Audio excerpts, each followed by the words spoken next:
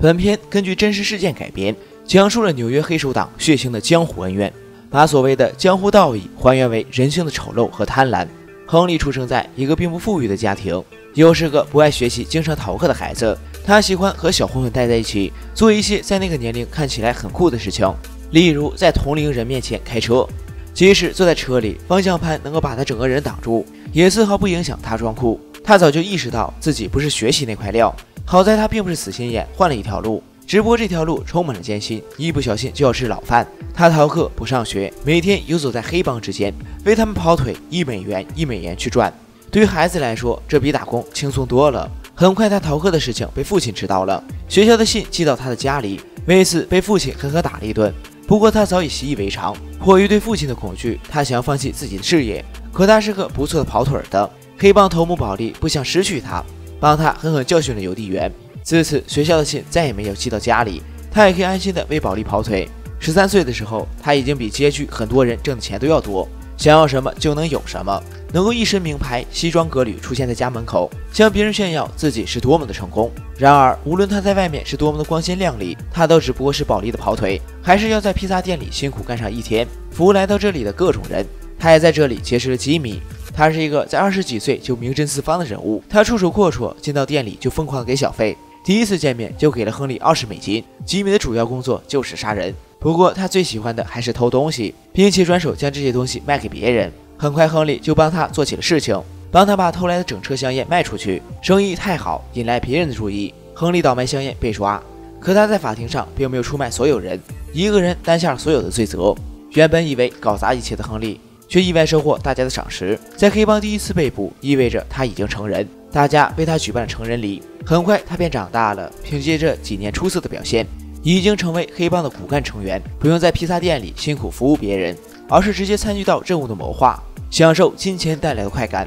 到目前为止，亨利很享受他的生活，永远都不用担心钱的问题，即使不用去抢，钱也会自动送上门来。那些想要寻求庇护的人都必须上交足额的保护费。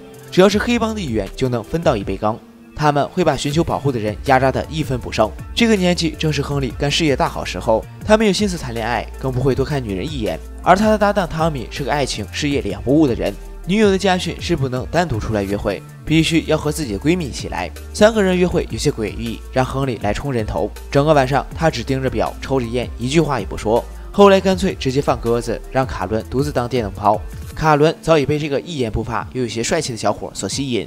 对于亨利的爽约，他觉得自己受到了侮辱，前去理论。亨利也被他真性情所深深吸引，那双迷人的眼睛让他再也逃不开。很快，两个人便相爱了。他用金钱搞到一些特权，能让实习生在大牌长龙餐厅专门给他设置一张最靠近舞台的桌子，并送上最好的酒，在女朋友面前耍尽了威风。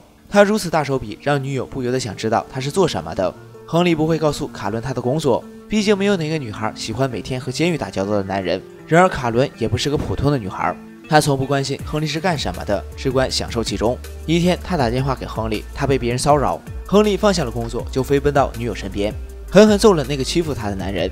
当亨利把枪交到他手上，他觉得很刺激，并认定一定要嫁给这个男孩。很快，他们举办了婚礼，成为黑帮家人的一员。此时他根本不明白，作为黑帮家人要做些什么。婚后的生活不尽人意。亨利常常夜不归宿，争吵更是家常便饭。卡伦能够做的只有等待。他也逐渐明白，亨利做的是违法的事情，也会担心某一天他会被抓走。可每次都会被亨利说服。慢慢的，他开始认同亨利的工作和医生、律师没有什么区别，他也是在工作，多偷多抢才能够多赚钱。也明白身为黑帮家人的意义。在警察上门搜查的时候，有个人开门，卡伦从不大喊大叫，总是很有礼貌将警察请进来。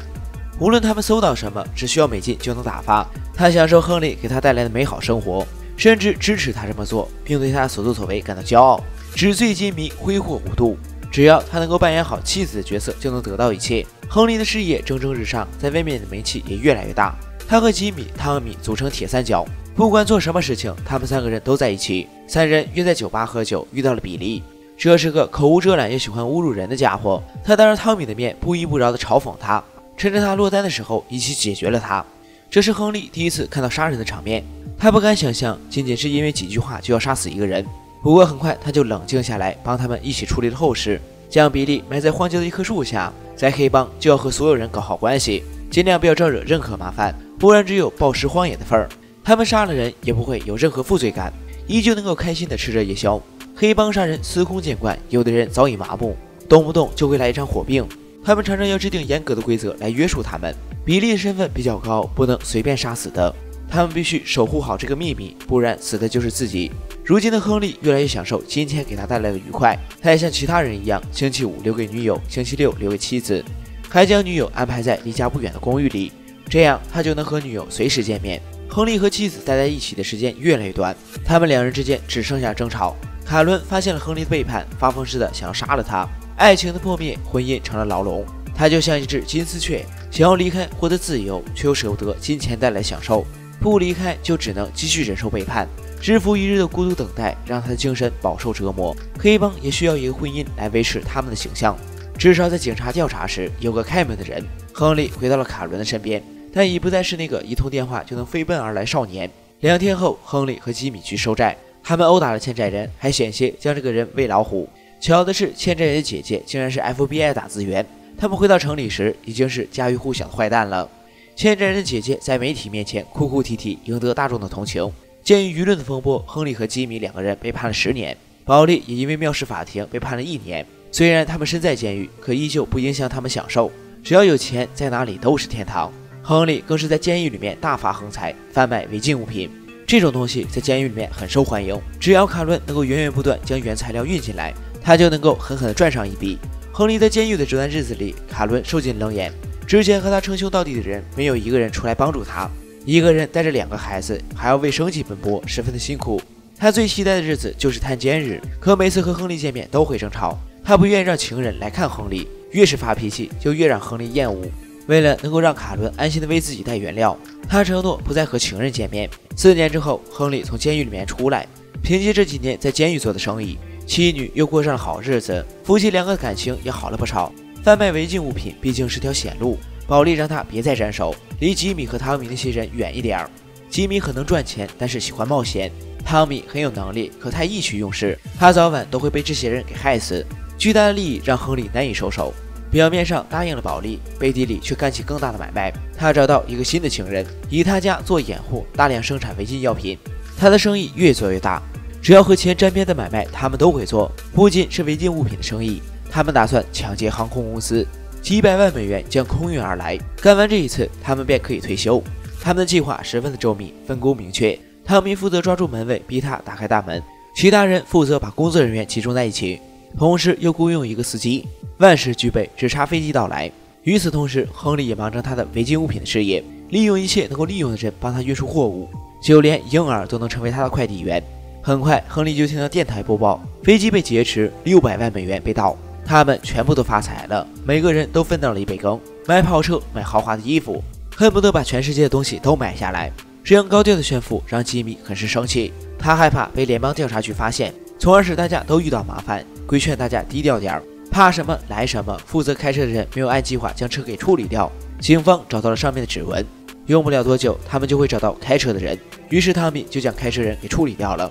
汤米的阴狠毒辣得到高层的赏识，他就要加入黑手党，成为吉米的上司。一切都在往着好的方向发展。然而吉米却十分的不安。他们没有给最初的策划人莫里的钱，五十万相对于六百万来说，简直就是杯水车薪。即便是这样，吉米也不愿出。莫里并不是专业的黑帮，和他们不一样。他是一个经营理发店的人，只不过欠了他们钱，和他们有了来往。他们怕莫里没有钱而坏事，让亨利将他给约了出来。亨利明白他的意思，他就是要杀死莫里。他试图去阻止，然而他根本就扭转不了这一切，将莫里骗进车里，短短几秒钟就杀死了他。吉米不仅干掉了莫里，还想把每一个参加劫案的人都给杀死。不过这并不关亨利什么事情，他并没有参与抢劫，只是跑了个腿儿。想要将钱平分是不可能的，所有拿了钱的人都要死。那些人的死悄无声息，有的在跑车里，有的死在垃圾车里，有的和冷冻猪肉在一起，都不过是竹篮打水一场空。生活仿佛在朝着他们想象的方向发展。然而这中间又出现了差错。汤米进入黑手党第一天就被杀死了。他们是比利的手下，专门报仇而来。比利是黑手党的成员，而汤米不是。自己的人死得不明不白，他们当然会调查清楚。面对黑手党的报复，吉米和亨利什么都做不了。又过几年，他的生意越做越大，生意做得这么大，他总是不放心。不管他什么时候出去去干什么，都会有一架直升机紧紧地跟着他。即便如此，他还是铤而走险做他的生意，让全部的家人帮他的忙。看似是家庭聚会，实则是发动全家人制造违禁品。每天出门都会观察是否有直升机跟着他们，每次交易都会甩开天上的眼睛。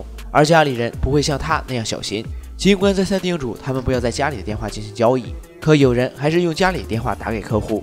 亨利在贩卖违禁物品的同时，也在吸食，他的精神状态越来越不好，做什么都没有精神，吸食的量也越来越多，他沉迷于其中无法自拔。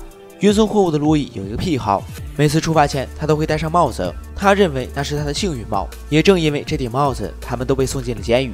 他们两个回家拿帽子的路上被抓，之前跟踪他们的飞机是缉毒组的，他们跟了他一个月，掌握了所有证据。亨利被抓也让保利知道他贩卖违禁物品的事情，他不会放过任何一个背叛自己的人。他让妻子尽快将他保释了出去，在监狱里面他很有可能死得更快。一切都没有了，没有钱，没有违禁品，他翻不了身，还要担心自己随时被灭口。他去求保利帮自己，而保利警告过他不让他碰，他就是不听。他不愿意帮助一个违背自己命令的人。保利只给了他三千两百块，就和他彻底断绝了关系。亨利突然意识到，原来自己在保利那里一文不值，这么多年为他卖命，到头来只有这么点钱，这是何其悲哀的结果呢？他想要离开这个是非之地，可他又能去哪儿呢？哪里又是安全的？他找到吉米商量对策，可是吉米只在乎自己的利益，让他不要把自己给供出去，并想要借机除掉他。现在的亨利走投无路，只能选择和警方合作，转为污点证人，接受证人的保护，也是时候和他们彻底决裂了。这一次，亨利在法庭上供出所有人的罪行，吉米和保利以及黑帮成员都受到法律的制裁。他只对吉米的生活也到此结束，故事也到此告一段落。本片名为《好家伙》，是一部根据真实事件改编电影。与其说它是一部电影，不如说它是一个人自述。这些人都是真实存在过的，都曾是那个时代叱咤风云的人物。最终，他们都在监狱度过了余生。富足豪华的生活，人人都想拥有；靠非法手段获取的财富，终将消失。无论你做过什么，最终都会受到法律的制裁。直到电影上映，亨利还在接受证人的保护。好了，本期就是这样。喜欢点订阅关注，持续更新，不见不散。